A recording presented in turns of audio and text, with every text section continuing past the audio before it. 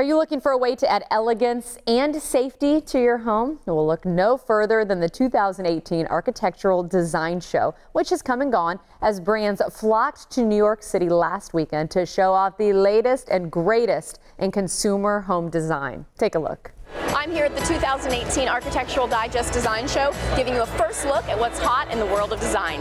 This event brings more than 40,000 designers from around the globe, including emerging artists and the world's largest brands. It's a one-stop resource for decorators, shopkeepers, and home renovators. I'm debuting my new collection with Baldwin Hardware, Hollywood Hills, which strikes the perfect balance between chic traditional elegance and clean modernism. To see the whole collection, visit baldwinhardware.com.